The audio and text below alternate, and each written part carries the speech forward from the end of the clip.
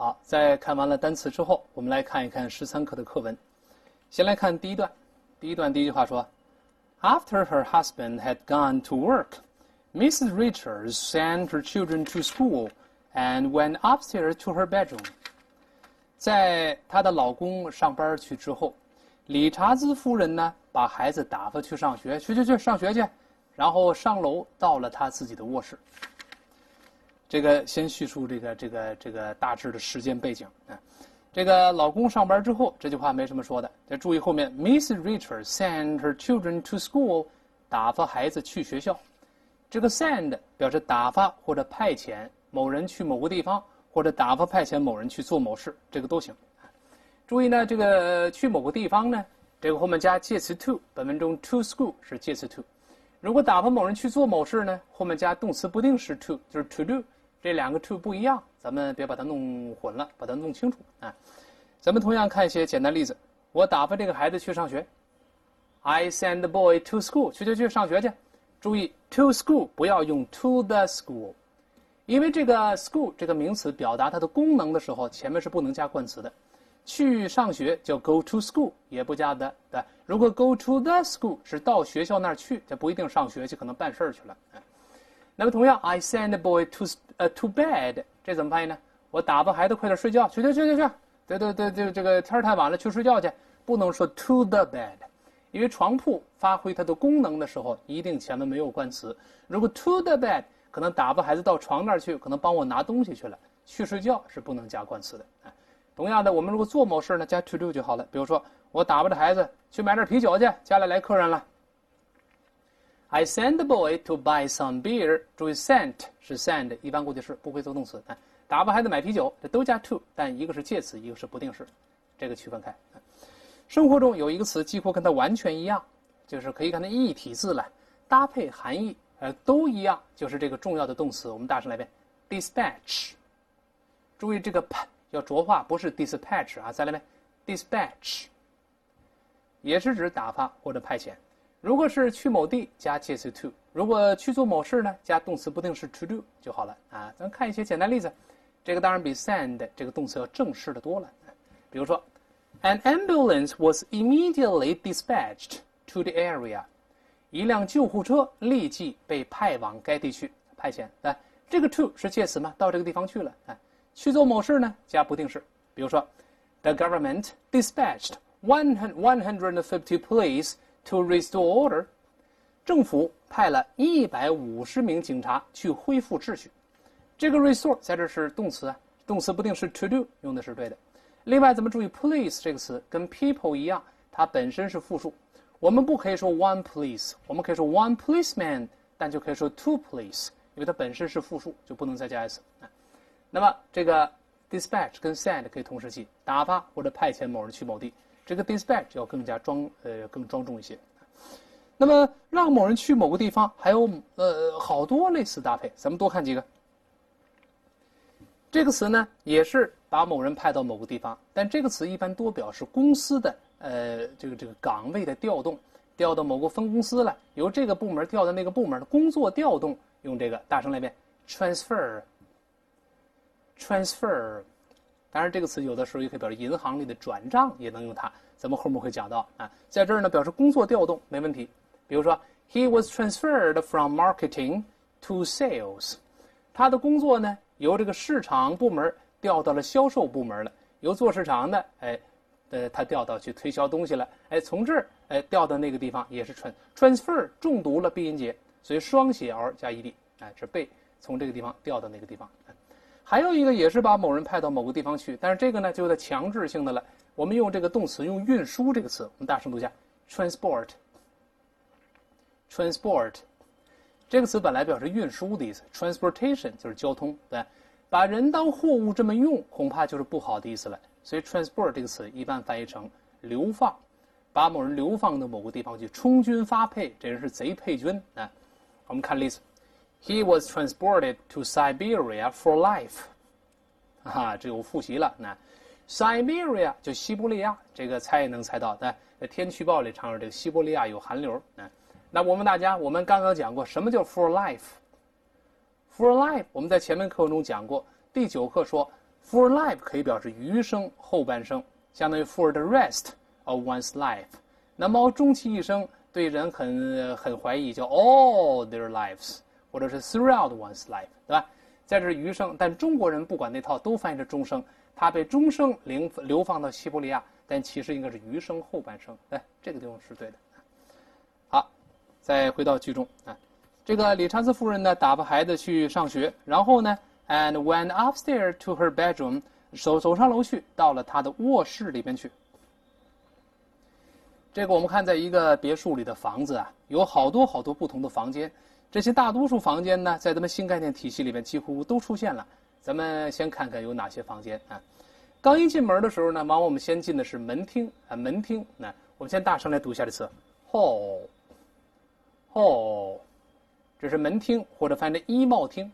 这个并不是一个大厅，就刚进门呢，我们有个哎一个平面的一个座子，能坐在那换鞋，能挂衣服。这个小门厅衣帽间叫做 hall，这是家里的这个房间啊。那么再往里面走呢，可能有这个客厅啊，大的客厅或起居室。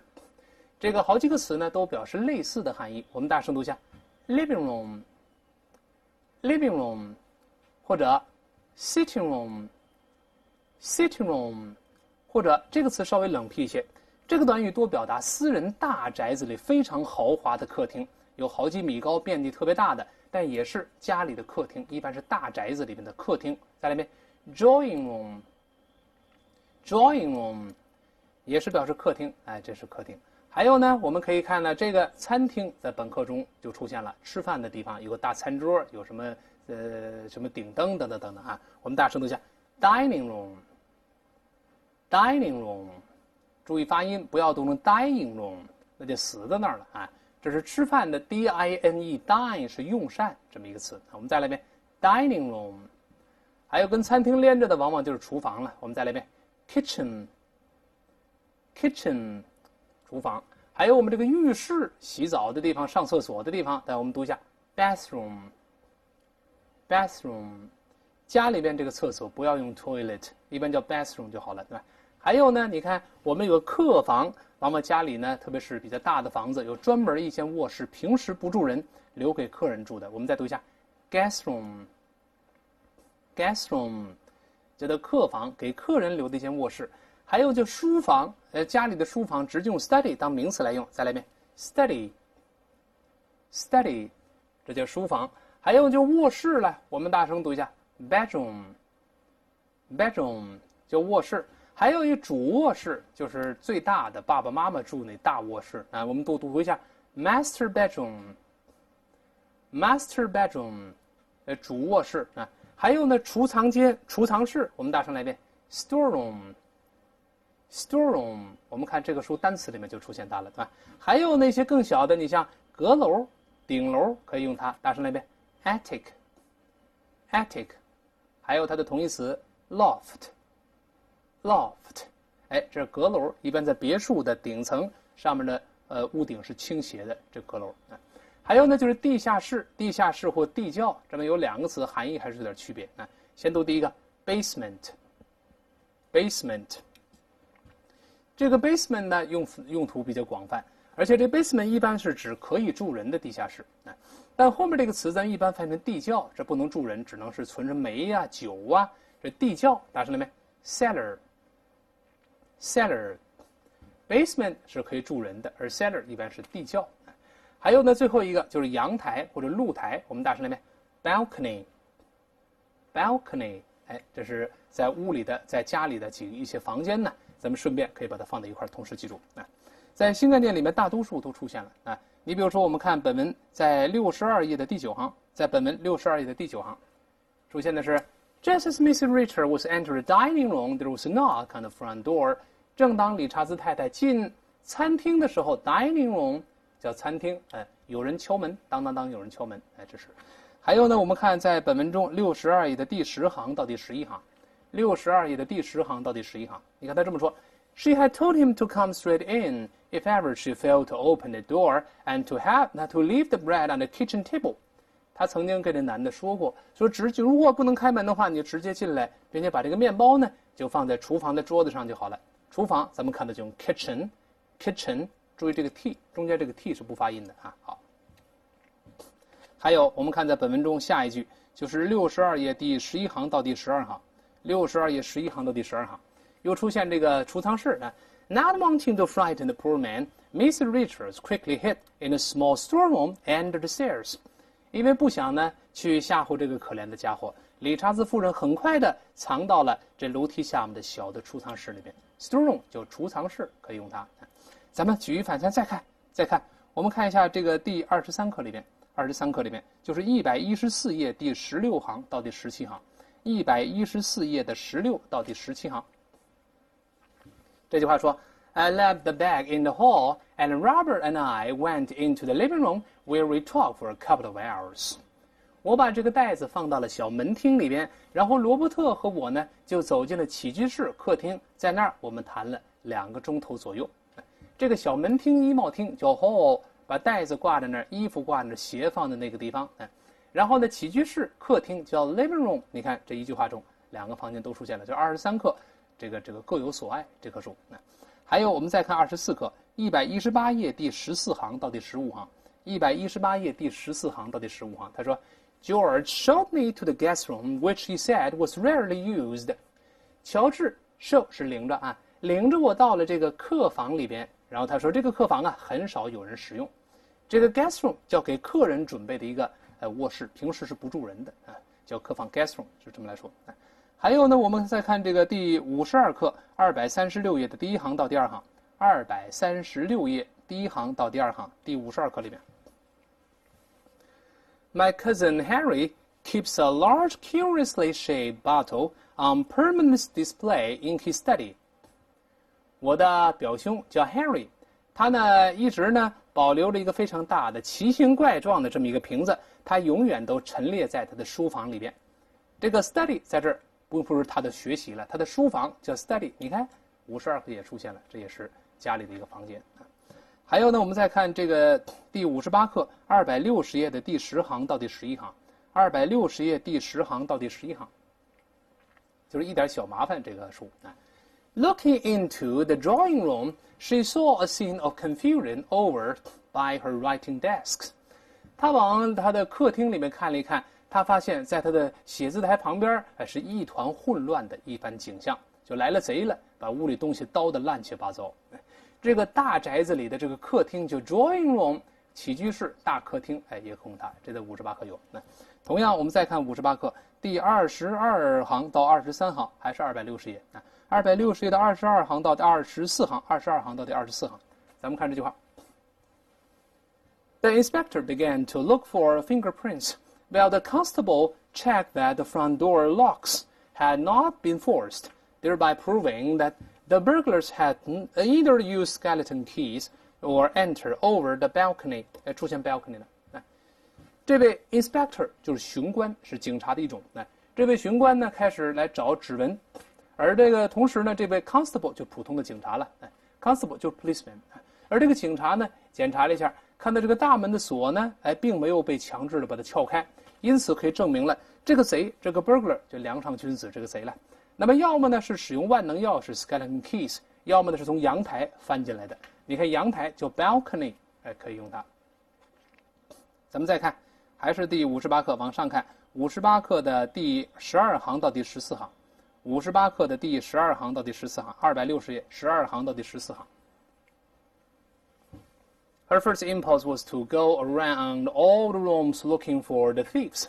But then she decided that at her age it might be more prudent to have someone with her, so he went to fetch the porter from his basement. 这个老太太第一反应看家里被盗了的，第一反应是到处每个房间转一转找这个贼， 但是然后呢，他做出这么一个判断，他认为在他这个年纪啊，最好呢，呃，是有别人跟他陪在一块儿，这个更审慎一些，prudent。否则那碰到贼打不过呀，怎么办呢？所以呢，他就呃来把这个什么 porter 这位脚夫，哎，或者这个门房都行了。在这儿是门房呢，就是看门人，从地下室给找出来了。你看 basement 叫地下室，但这个地下室是可以住人的。这个门房，哎，看门人就住在地下室里面。那么还有，我们再看四十九课最后一句，另外一个，这叫地窖。二百二十四页第三十一行到第三十二行，二百二十四页第三十一到三十二行。They had mysteriously found their way there from the wine cellar。这个咱们以前讲 Find One's Way 讲过这个的，他们就是酒瓶子，神秘兮兮的从酒窖里边就到了那个地方了。哎，从这这个这个这个酒窖叫 wine cellar，这个 cellar 表示地窖，一般是放煤放酒的这个这个这个这个仓库。那我们再读一下 cellar，cellar，这是地下室，但一般是呃地窖，而不是呃这个能住人的地下室。啊。那么我们再看一个特殊的房间，二百六十四页第五行到第七行，第五十九课，二百六十四页第五行到第七行。They leave unwanted objects in drawers, cupboards, and attics for years, in the belief that they may one day need just those very things. 他们把不祥的东西放在了抽屉里边、壁橱里边，还有阁楼里边，一放就是很多年。他们因为他们相信呢，有朝一日，呃，正会用上这些平时放起来的东西，闲了事忙了用呗。对，阁楼叫 attic。跟那个 loft 是可以替换的，你看这是各种房间，亚历山大在散落在各个课课文中，我们把它集合到一块儿就行了。就像我们在沙滩上一个赶海的孩子，把一些美丽的贝壳放在一块儿做总结，这就好记了。好看第二句话，他说他为什么呃他到这个去卧室呢？She was too excited to do any housework that morning, for in the evening she would be able to a fancy dress party with her husband. 这个女人呢，那天实在是太兴奋了，而不能干任何家务活。为什么呢？因为在晚上，她即将跟老公去参加一个化妆晚会，哎，心中啊很兴奋，干不了家务活。首先，咱们看看这句话的语法成分的分析。这个白颜色的依然是句子的主干结构，主句啊。这里面主主干里面用 to to 这个结构，太怎么样而不会怎么样啊。这个女人实在是太兴奋了，这个 to do 里藏了一个否定，就而不怎么样。而不能干任何家务活为什么呢？这个逗号 for 还是我们以前说的 for 引导的时间呃原因状语从句放在主句后面用逗号跟主句分开啊，因为在晚上她即将跟老公去参加个 fancy dress party，咱们一会儿说参加一个化妆晚会就好了。好，咱们看看里边的一些细节。首先看这个做家务这个家务活这个词，这个首先我们先大声读一下这个词，慢慢来，housework。Housework，注意家务活是一个不可数名词。如果用这个词的话，它一定是不可数的。它跟另外一个词儿家庭作业，咱们做个辨析。这个叫再来一遍，homework。homework，这是给学生留的家庭作业。我们老师也说过，家庭作业这个词也一定是不可数的，不可数的。但是家务活还有另外一个表达，这个短语就可数了。我们大声读一下：household chore。household chore。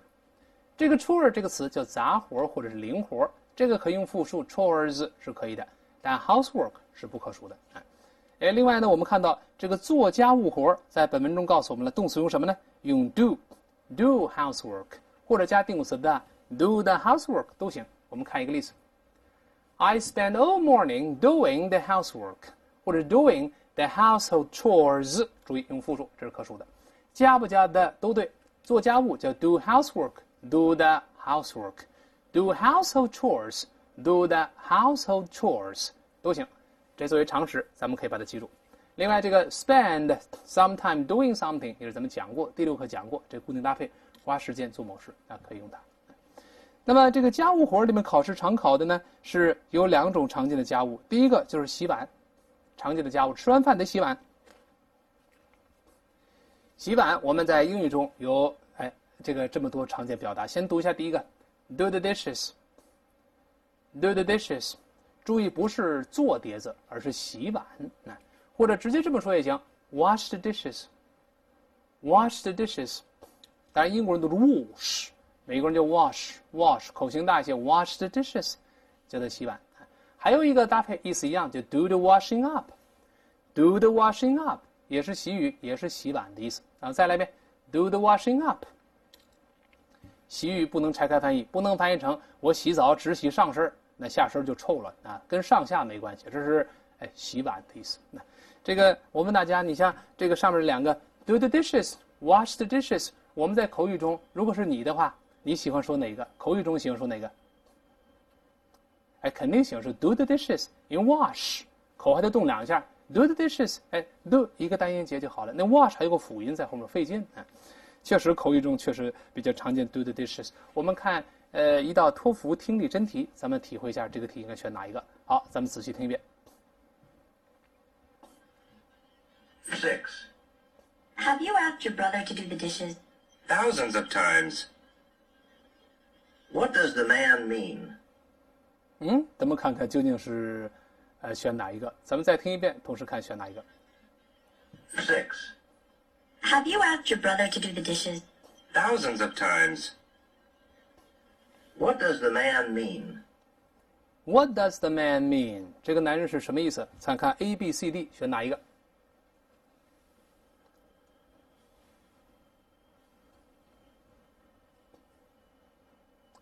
正确答案当然是 D 选项。He has asked brother to wash the dishes many times。他让他的兄弟洗这碟子都说了很多次了，选 D。这用的是 wash the dishes，这是去洗碟子，用的是它。但在对话原文中，为了避免重复，他换了 do the dishes。他如果选项中用 do the dishes 的话，这个选项就更明显了，所以他做了一个替换。咱们看原文。Six. Have you asked your brother to do the dishes? Thousands of times. What does the man mean? What does the man mean？第二个女的说，呃，Have you asked your brother to do the dishes？我说你是不是让你兄弟去洗碗了？怎么人洗呢？第二个呢，嗨，thousands of times，说了好几千遍了都。这当然这种夸张了，什么意思呢？哎，当然是表示他让他兄弟洗碟子说了很多次了。你看对话中用的是 do the dishes，呃，听力里面用的是呃，这个原文用的是 wash the dishes， 意思一样，是洗碟子、洗碗的意思。那还有一个常见家务，咱们也用的多，叫做洗衣服，这常见的家务活了，洗衣服。洗衣服，注意，咱们有两个表达，一个叫 do the laundry，一个叫 do the washing，都行，都是洗衣服啊。这个 laundry 表示脏衣服，但注意 laundry 这个词一定是不可数的，一定是不可数的。我们大声来念：do the laundry，do the laundry。I help mother do the laundry，我帮妈妈洗衣服，也可能这个结构，do the washing，do the washing，这个也行。注意区分啊，do the washing up 是洗碗。Do the washing 是洗衣服，不要搞混了啊！习语怎么记呢？大声读出来，读完英语说中文，读完英语说中文就背下来了。Do the washing up 洗碗，Do the washing up 洗碗，Do the washing up 洗碗，Do the washing 洗衣服，Do the washing 洗衣服，Do the washing 洗衣服。看似很无聊的大声重复，其实你在重做一个重要的事儿，把这个中文意思跟英语搭配，在大脑里建立桥梁。在建立桥梁，在大脑里边呢，慢慢慢慢这个神经轴突就连在一块儿了。就是说洗衣服，马上 do do do do washing，do do washing 洗衣服，马上就蹦出来了。所以这个平时把它多记一记，把它记下来就好了，大声读出来。嗯。好，在看过了几个这个做家务活的方式，什么洗衣服啊，什么洗碗之后呢，咱们再回到这句话里面来，看看为什么这个女的。她那天太兴奋，不能干家务活呢。后面一个时间状呃原因状语从句 for 引导的啊。For in the evening she would be going to a fancy dress party with her husband，因为在那天晚上呢，她跟她老公要参加一个化妆晚会去。嗯，这个时态注意，would be going to，这用了一个将来，呃，这个这个这个这个过去将来进行时，过去 would 将来过去将来还有进行 would be doing，过去将来进行时。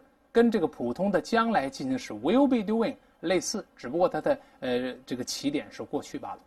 这个将来进行时，我们在第四课说过，就是 will be doing 一般表达什么呢？一般表达一种可预见性、可预知性，就是我知道这个事儿按照计划几乎一定会发生。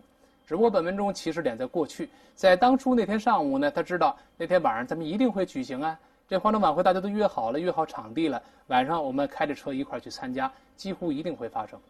咱们记得在第四课讲过，普通的将来进行时就是 will be doing，意思是一样的，但也是表示一种可预见性，这事儿几乎一定会发生。比如说，咱们看二十六页的第十四行，二十六页的第十四行，他说：“He will soon be working in an office。”他很快就会在办公室工作了。哎，很快的嘛在这里面也是跟工厂都谈好了嘛？下星期拿着包去上班去了，这是将来进行时。还有在第四课里面呢。He will be earning only half as much as he used to。他挣的钱将会是以前挣的钱的一半那么多。He will be earning，他并不是将来正在挣这个钱，而是表示这个挣钱多少呢？早就知道了，跟工厂谈好了呗。到了时候，哎，去领工资了。哎，这种可预知性。本文中只不过这个起始点在过去，那就把 will be doing 把 will 换成 would 就好了，也是一种可预见性啊。